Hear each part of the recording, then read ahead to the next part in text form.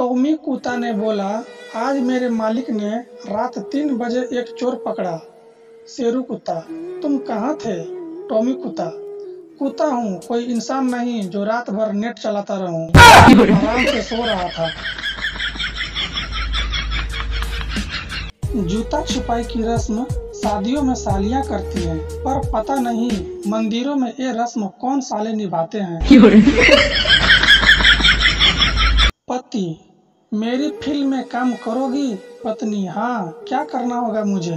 पति, तुम्हें धीरे धीरे पानी में उतरना होगा। पत्नी, ओके, फ़िल्म का नाम क्या होगा? पति, गई भैंस पानी में।